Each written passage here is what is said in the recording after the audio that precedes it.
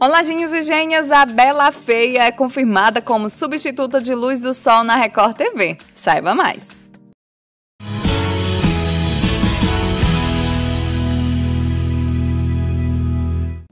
De acordo com o site Observatório da Televisão, a Record TV anunciou na última terça-feira que a novela Bela Feia irá substituir a reprise de Luz do Sol.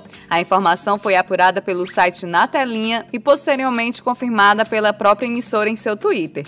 Com essa novidade, o público poderá então se preparar para assistir o sucesso do canal produzido entre 2009 e 2010, em parceria com a Televisa. A data para a reestreia do folhetim já foi informada também. Será na próxima segunda-feira, dia 12.